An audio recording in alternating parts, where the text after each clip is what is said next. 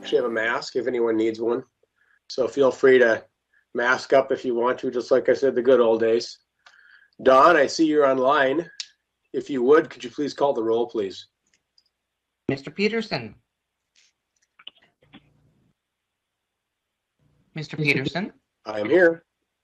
Dr. Mahoney, Aye. Mayor Dardis, Here.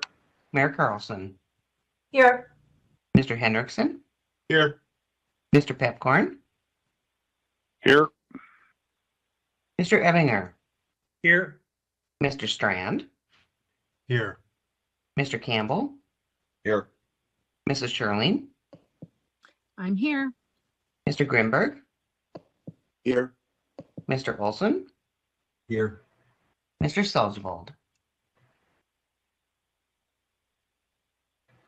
A quorum is present, and I know Mr. Salzwald is trying to get on. I just forwarded the invite again. Okay, wonderful. Thank you, Don. Uh, and as we have a new member who I'm sure most of you don't know, uh, his name I believe is Anthony Grin- Grindberg. Uh, welcome, Commissioner Grindberg, back to the Diversion Authority. Although you sit in a similar seat virtually, uh, I think you're familiar with the project, and that's why the county commission elected to put him back on this board. His his knowledge long term of this is going to be invaluable to us, whether it's here on finance in our with our friends in the legislative session. I'm I'm glad we have him, and I'm I'm blessed to have him on this board. So welcome, Commissioner Grindberg. Thank you, Chair Peterson. I'm glad to be back. Wonderful. And out of respect to our our uh, minutes keeper, our secretary, when you make a motion or a second, could you please give your name? That makes it a little bit easier for everybody. So just, I think we all know the drill by now. Like I said, we had two years of rehearsals, so away we go. Uh, with that, we have call to order, and now we have approval of meeting minutes from November 17th. Look for a motion to approve or discuss, please. Move to approve. Piepkorn makes the motion. Or second. Sure in second. Perfect. Uh, We have a myriad of options to pick from, Don. Feel free to uh, elect the person you see fit to put in the record. With that, we have a motion and a second. Any discussion? Any discussion? If not, all those in favor, please signify by saying aye. Aye. Aye. Aye. Aye. Those opposed, same sign. Motion passes. Item three on our agenda is the approval of the order of the agenda. Don, I don't see any amendments, so I'm going with what I've got in front of me. I should be safe, correct, Don? That is correct. Wonderful, thank you. Uh, You have before you the consent agenda and a chance, I hope you had to review it prior uh, within your meeting packet. If so, look for a motion to approve, amend, discuss. Mr. Chairman, John Strand moves approval. Thank you, sir. Is there a second, please? Olson seconds. Wonderful, thank you both. We have a motion and a second on the table to approve the consent agenda as presented. Any discussion on the motion? Any discussion? Any discussion? If not, Don, roll call vote, please. Mr. Peterson, Yes. Dr. Mahoney, Aye. Mayor Dardis.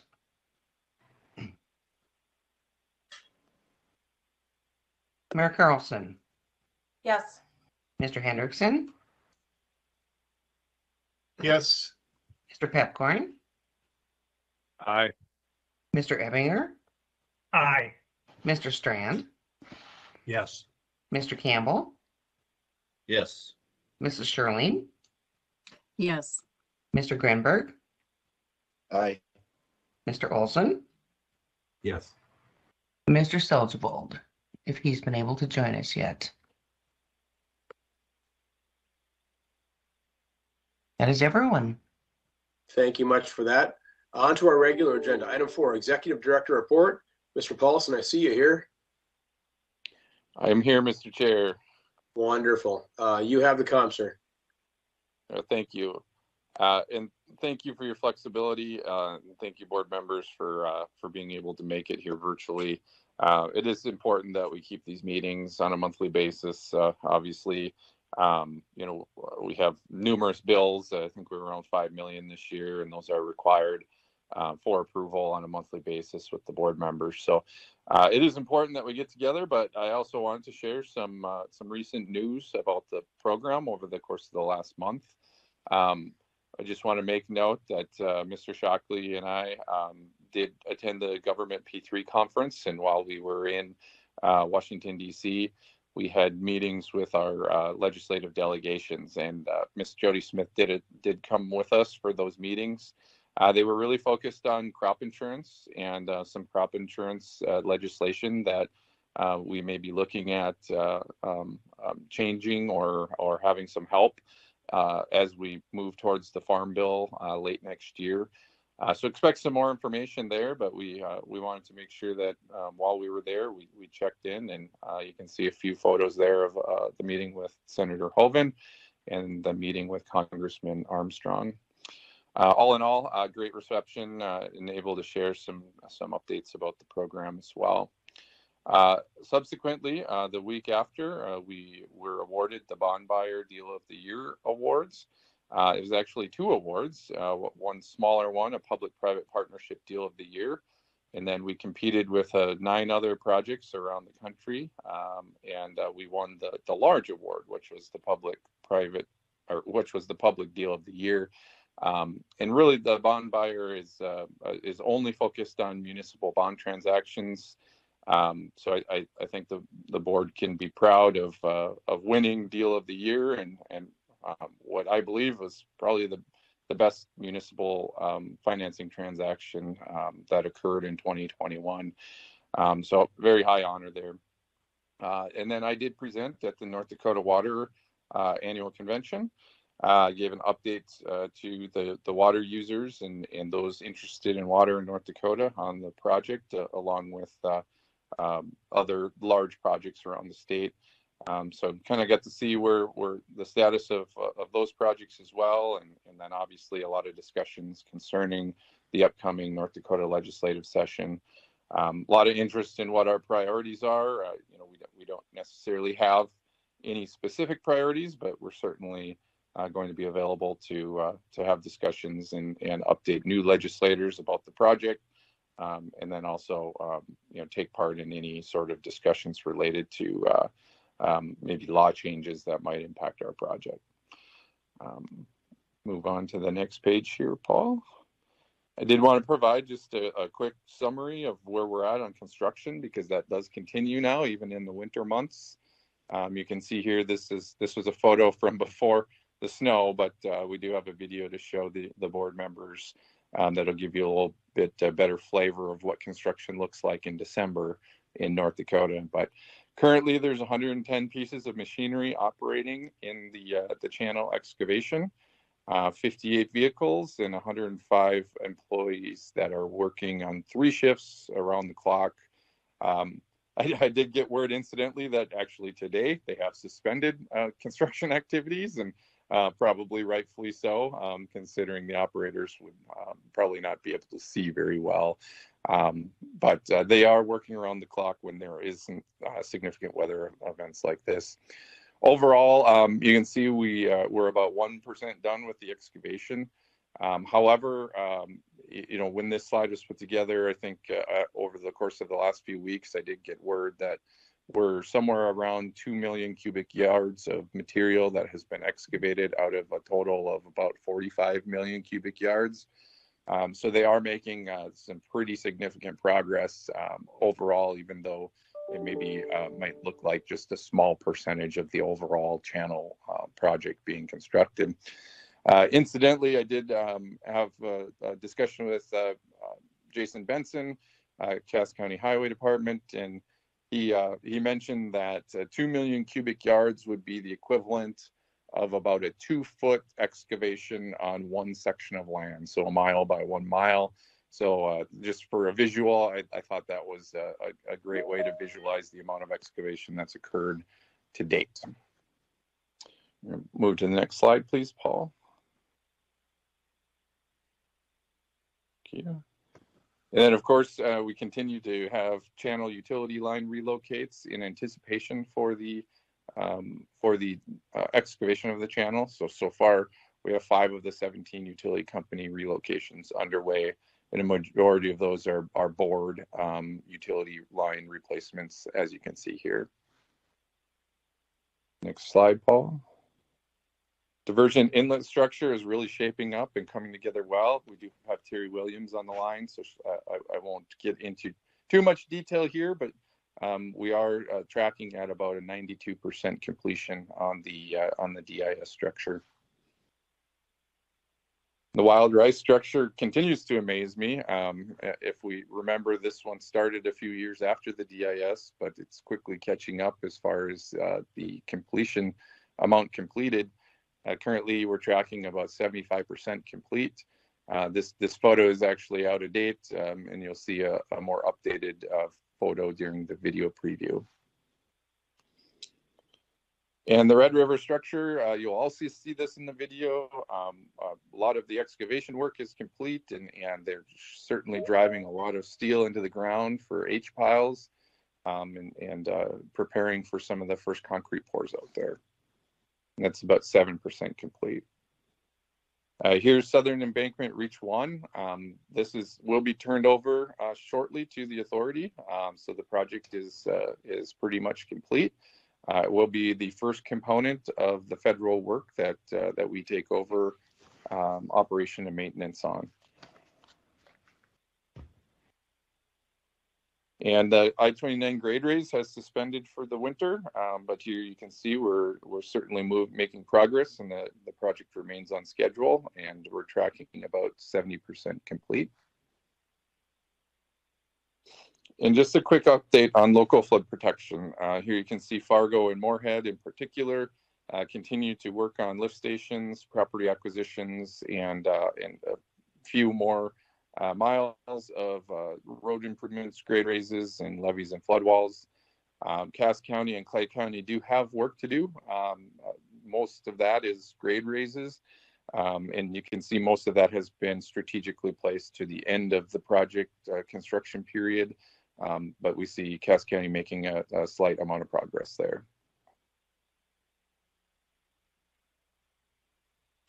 And I do want to make a note uh, about our mitigation projects. Uh, we're about 100% complete on the Drain 27 wetland project. Uh, so that will be uh, turned over to the authority uh, next spring, I believe. Uh, Terry can correct me if I'm wrong.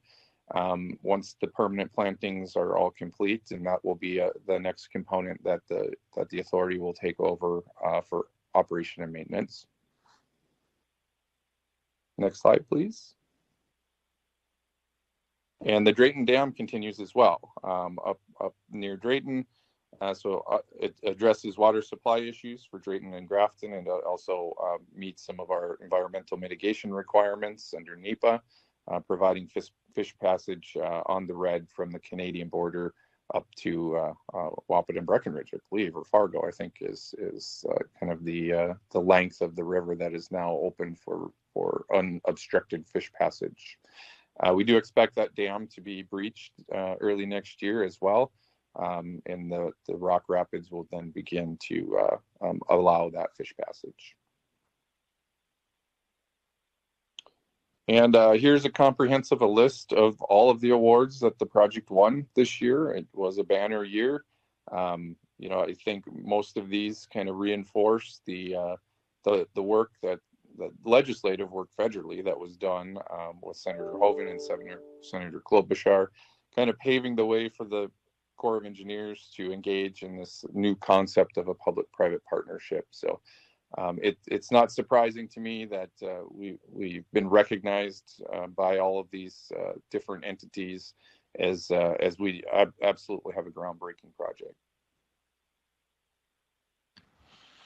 And I believe that is all I have for you, Mr. Chair. Certainly open for any questions. Wonderful, Mr. Paulsen. Any question from our team?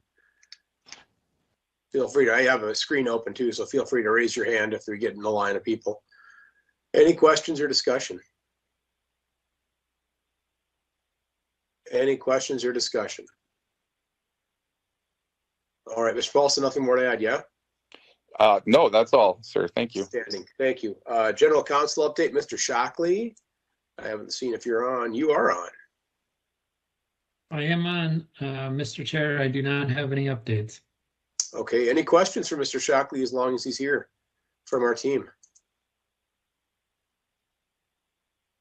Any questions? Wonderful. All right, we'll push on. Uh, on to the U.S. Army Corps of Engineers update. Terry, you are there. Okay. I'm here. Good afternoon, everybody. Um, first of all, I would like to express Colonel Swenson's regret that he's not there uh, to meet you today and, and speak with you today, and then also to tour the construction. He was going to tour the diversion channel construction um, tomorrow morning, but the weather weather just didn't allow the travel, and he really um, prioritizes getting up there very soon and meeting with the board in person. Um, on to the update. You have a copy of this in your packet. I won't recover what, what Joel has covered already.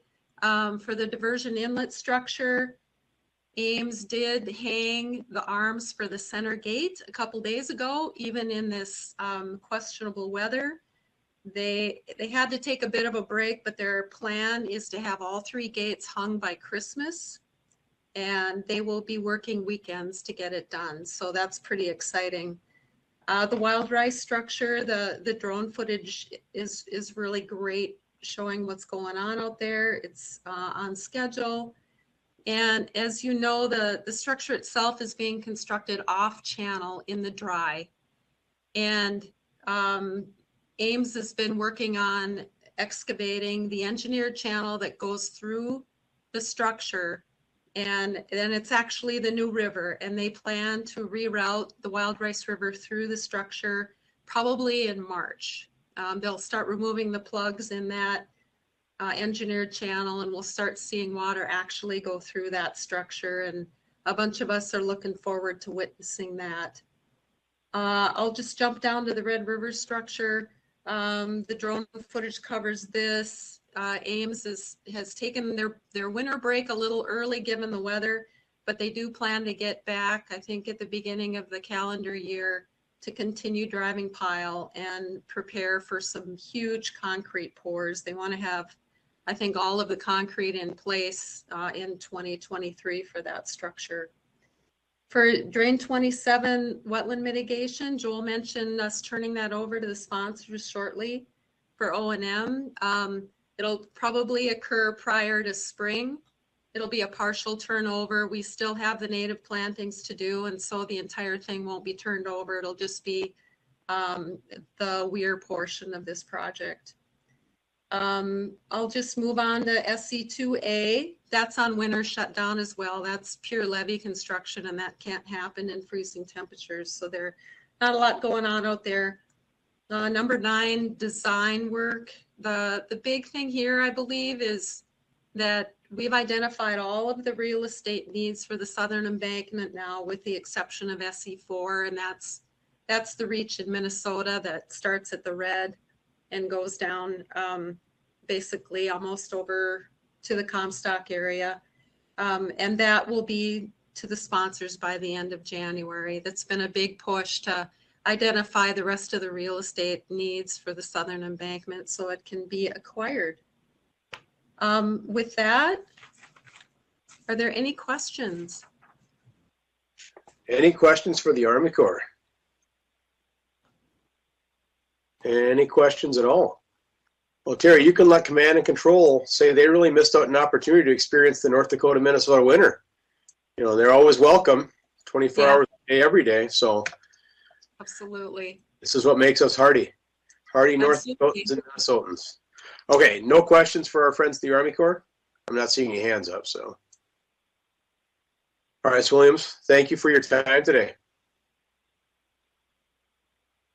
We will push on communications update. Their comms team on. Yes, good afternoon, Mr. Chairman. We will start with the drone video so you get a good overview of what Ms. Williams was just speaking to. Hi, I'm Tom Fuchs, the MFDA's Senior Construction Manager, with a progress update on the FM Area Diversion Project. South of Fargo Moorhead at the Wild Rice River structure, the second of two gates is now in place and concrete girders have arrived for installation at the bridges spanning above. Work continues to progress across the project site with the gauge well structure and riprap placement underway on the upstream side of the structure and engineered channel excavation is continuing on the downstream side. More than three quarters of the work on the wild rice structure is now complete. Nearby at the Red River structure, piling continues to be driven to help anchor the 75 foot tall structure. Crews also began placing concrete for stabilization slabs beneath the structure's stilling basin on the downstream side. Stabilization slabs will protect the subgrade soils from weakening due to ongoing construction traffic and will provide a solid platform for installing the stilling basin's concrete formwork and rebar, which will be placed in the coming months. About 400 tons of rebar will be installed within the Stilling Basin Foundation, a portion of nearly 3,000 tons that will be installed for the entire control structure. Nearby, where work is being done to raise a 4.2 mile stretch of Interstate 29, you'll notice that the bridge girders went up on the northbound Borrow Ditch Bridge. The I 29 project will need to slow through the winter months and ramp up in the spring. North of the metro area, ASN Constructors is continuing to excavate the channel and build up the embankment. As the channel excavation grows, the excavated material berms will rise to nearly 20 feet on both sides. Crews have now surpassed 1.8 million cubic yards of material excavated to date on the project. A team of 100 employees is working around the clock with an array of 60 pieces of new equipment to make progress on the 30 mile long stormwater diversion channel which will be completed by 2027. Get more behind the scenes looks at the people making history with this project by signing up for the Diversion Current monthly newsletter at fmdiversion.gov.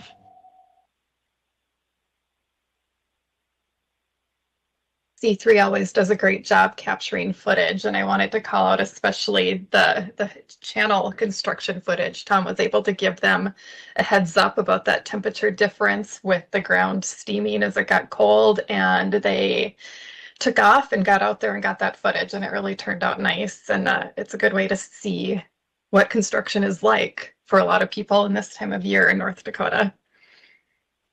Um, if you can move to the next slide, please, Peggy, I can give a quick overview of where we're at with the diversion current. So you'll see the industry averages are the horizontal lines and our statistics are the vertical lines. So for opens and clicks, we want to be above those lines and we are well above them, um, especially these past couple of months. And then we want to stay below that line for bounces and unsubscribes. And we are doing that as well. So performance is going going very well with that newsletter. Um, we also released uh, our next phases of the diversion video, which you may have seen with Sarah Edmonston, the HR director for ASN Constructors. And we have two others that have been filmed or in production. So we will continue to release those on a monthly basis and, and have a list of others that would be um, good additions that we will interview yet. Uh, in terms of public relations, we sent out two press releases. One to be able to educate a little bit more on the flowage easements and what's being done there. And then on the bond buyer awards that Joel spoke to. If you'll move to the next slide, Peggy. Yep, I wanted to give you just a quick breakdown uh, 2022 by the numbers. So there were 19 presentations made to conferences or groups that we tracked a half dozen formal site tours, probably some other less formal ones that took place, I'm sure, and uh, 13 different awards, national and international, that the project was recognized with this year alone. Uh, from a PR standpoint, we sent out a dozen different releases, helped with the groundbreaking and a press conference um, that was back in January and logged um, close to 200 news stories and project mentions that uh, that came out this year. And then taking a look at our social media sites with a year over year comparison, uh, the stats are looking very good. Our reach on Facebook is up almost 600% compared to last year. Uh, 400% up on people visiting our page, and those liking the page has gone up close to 200%. Over on YouTube, views went up 138%. So we had um, more than 18,000 views this year. Uh, watch time also increased. Uh, and then the subscribers grew by 84 to 224 total. So that was a really big jump this year as well. Over on Twitter, our impressions tripled this year compared to last year to 24,000. And uh, LinkedIn has been performing very well. Page views increased by more than 2,800%, and our unique visitors increased by nearly 2,000%. Uh, so taking a look at the numbers, I think we're definitely on the right track as we head into 2023. Um, I'm happy to take any questions you have on any of this or anything else communications related. All right, any questions for our communications team? Any questions for our communications team at all? All right, well, thank you much for that. Appreciate your time well done. Uh, on to land management, item eight, uh, Ms. Smith. Yes, good afternoon, Chairman and members of the board. On this first slide, you'll see um, there were 17 acquisitions um, that we were able to close since the last month. Peggy, if you go to the next slide, I'll spend a little bit more time focusing on this. Uh, the 91.1% complete didn't really change uh, from what we would consider just a couple weeks ago, but we did have a half a percent increase in the UMA footprint. On the next slide, then you can see um, us breaking it down to the different areas within uh, within the land strategy. So the southern embankment and associated infrastructure did not change from last month. Um, the upstream mitigation area did increase as it previously discussed and everything else remained the same. And then on the final slide, just covering some of our key activities, which I think is the most important. We do continue to negotiate settlement agreements for existing um, eminent domain actions. Uh, we did reach uh, agreement with three additional property owners this past month. This morning, the Cass County Joint Water Resource District did approve one additional settlement um, with a property owner covering three parcels. We have received the final right-of-way drawings and the notice to proceed letters from the Corps on SE3 and SE5. Uh, this is important because if you look at the previous slide, you'll notice that we're not making much progress on the southern embankment. That is because primarily we were waiting on SE3, 4, and 5 drawings to come to us. With the SE3 and 5 coming to us, we have submitted the task orders to receive the necessary appraisals. Once those are completed, we'll begin working with the property owners for the necessary property rights. On the next bullet, you'll see that the deadline for batch one with our last written offers on the flowage easements uh, did pass, and we did file eminent domain on an additional eight property owners. All of those property owners are located in North Dakota, by the way. In batch two, then, um, we had 16 property owners covering 26 parcels. Those did go out the door, um, and we're waiting to hear back. If we do not have a negotiated settlement, um, our legal team is prepared to file eminent domain on January 3rd. Then in batch three, the Cass County Joint Water Resource District did approve us sending last written offers to 32 property owners. Um, again, the the the final date for them to be able to negotiate a settlement is at the end of January, and eminent domain will be filed on January 27th if we're not able to uh, get to that settlement. I can say that this morning, you know, again, the board approved the one uh, negotiated settlement on an existing eminent domain action that's been in place for a couple years now. They were also able to approve 11 flowage easements. Uh, several of those flowage easements are from property owners who are in batch one and two. And so we do feel like the last written offer strategy is working as we go forward and we, we hope to continue to negotiate with the property owners. Are there any questions that I can answer? Any questions for Ms. Smith?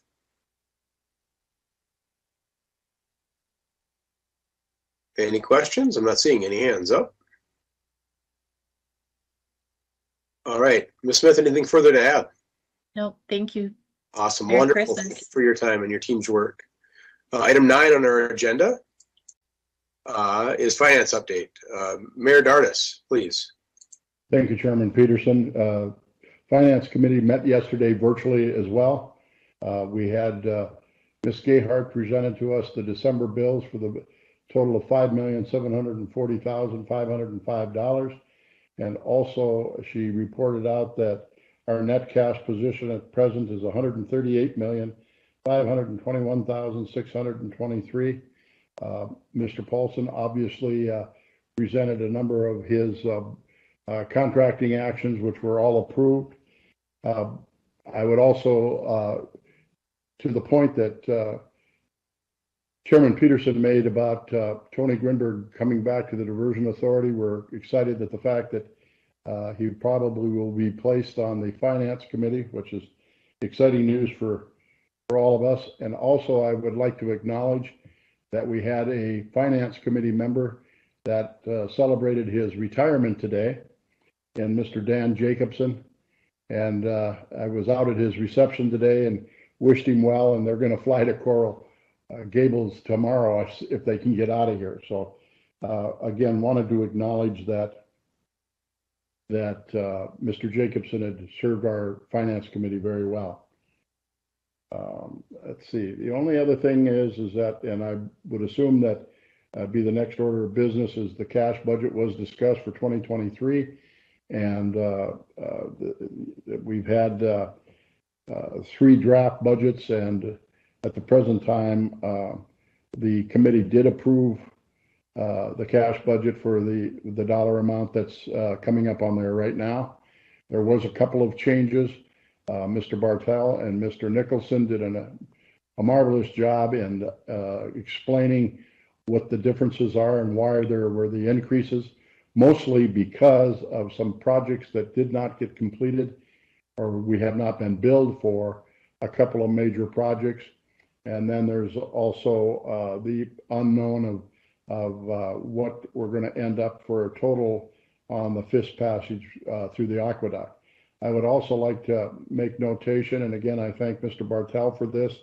On the lower left-hand corner, also talks about our revenues and the like. So again, uh, the goal of the Finance Committee this past year has been to provide dashboards and uh, visuals that any and all members of the board has an understanding of where we're at, uh, the detail to the line items and the like.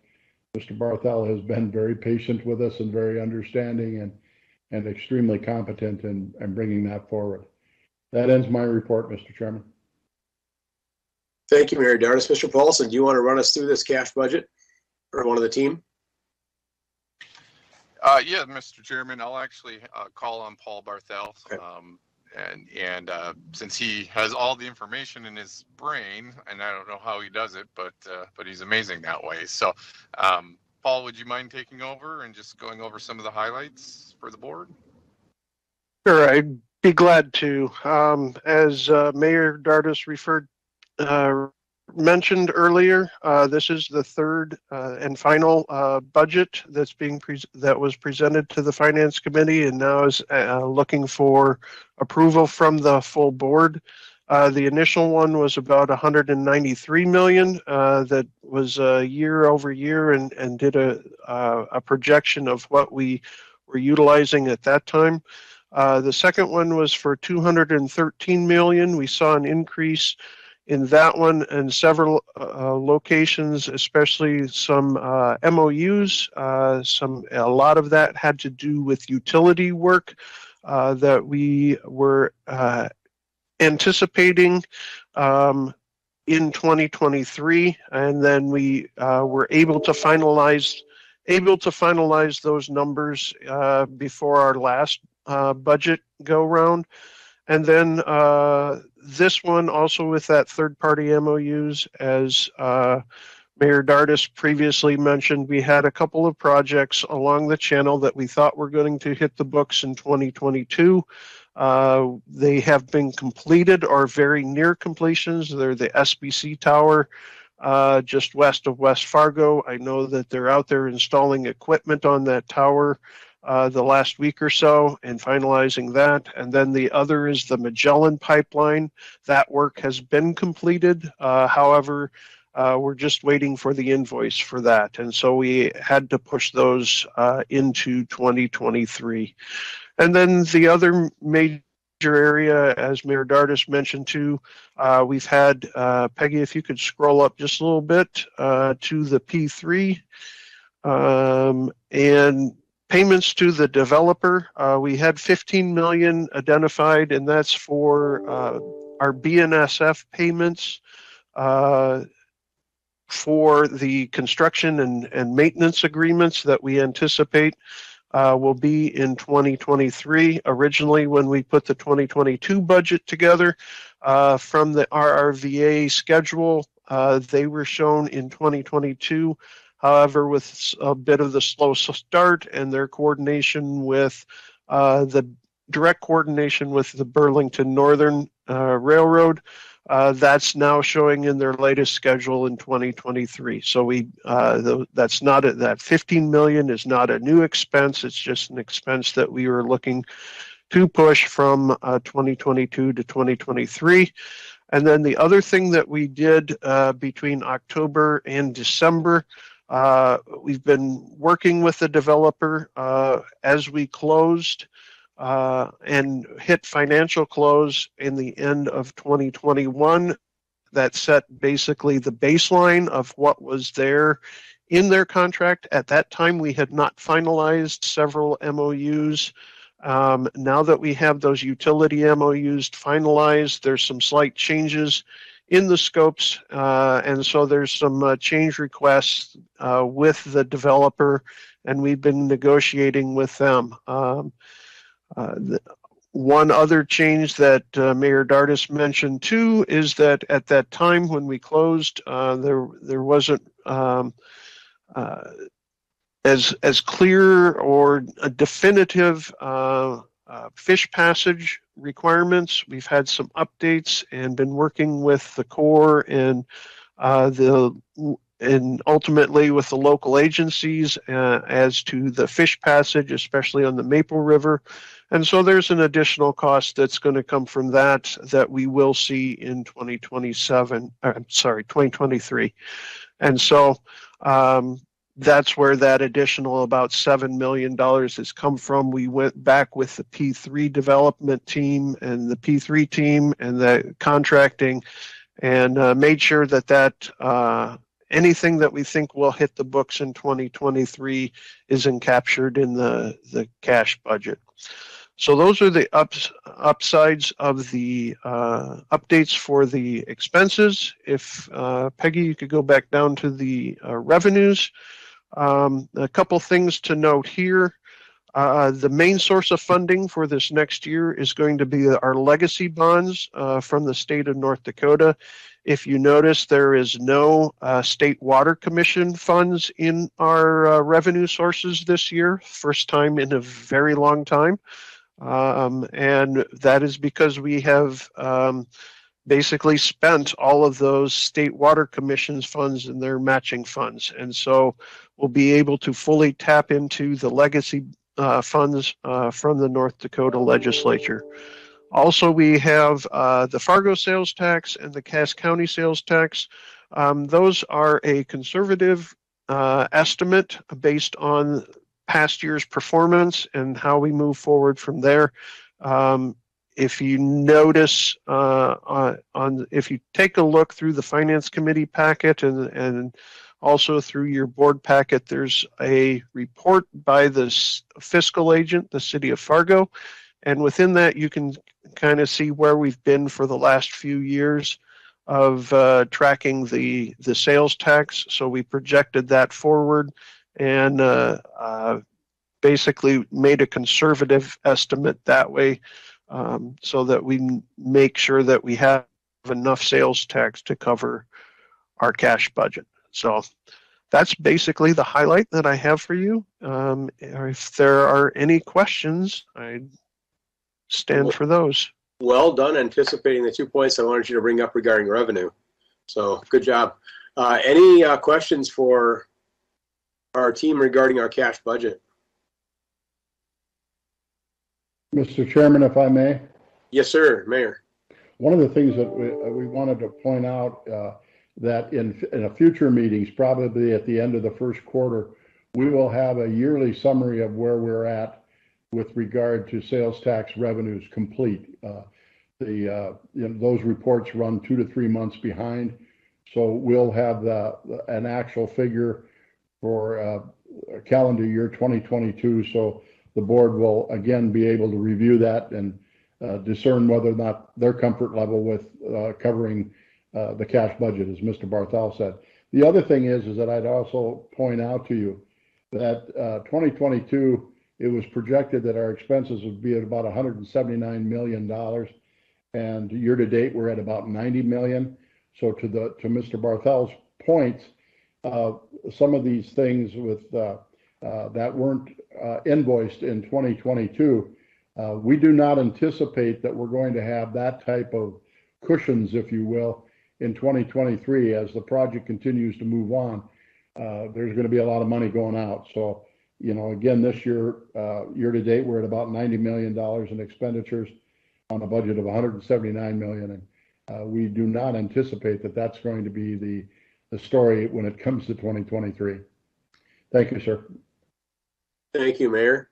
Any further discussion on this item? Mr. Paulsen, I'm presuming we need action from the board to approve, correct? That's correct, Mr. Chair. Mr. Chairman, Bernie Dardis here. I would move that we approve the 2023 budget. Thank you, Mayor. Is there a second, please? second. Thank you, Mayor. Uh, We have a motion and a second. Any discussion? Any discussion on this item? Any discussion? If not, Don, roll call vote, please. Mr. Peterson, Yes. Dr. Mahoney, Aye. Mayor Dardis, Yes, Mayor Carlson, Yes. Mr. Hendrickson, Mr. Piepkorn,